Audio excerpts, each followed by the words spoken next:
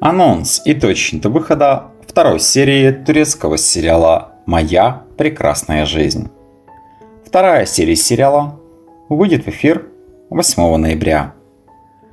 Ранее мы увидели молодую женщину Шебнем, которая занимается самовоспитанием дочери по имени Саре. Она еще совсем молода и обладает привлекательной внешностью. Но только на плечи этой хрупкой женщины свалилось очень много проблем – Шебнем очень сильно любит своего ребенка, и ей бы хотелось дать Саре все необходимое в этой жизни.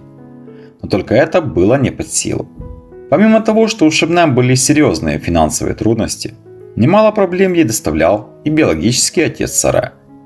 С самого рождения дочери этот человек не стремился проявлять о ней заботу и совсем не интересовался ее жизнью.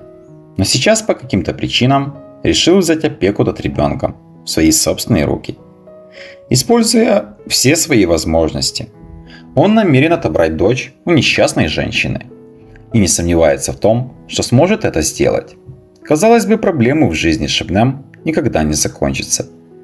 Но все начинает меняться кардинальным образом в тот момент, когда она встречает на своем пути сильного мужчину. Этот человек был не только привлекательным, но и умным.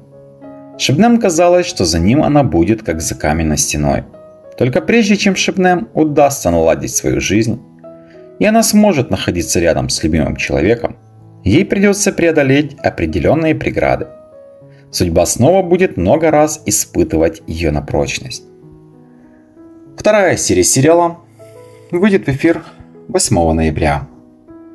Если вам нравится сериал и ждете выхода новых серий, тогда ставьте лайки, подписывайтесь на канал – жмите на колокольчик и будете в курсе последних новостей о новых сериалах. Спасибо за подписку и лайки.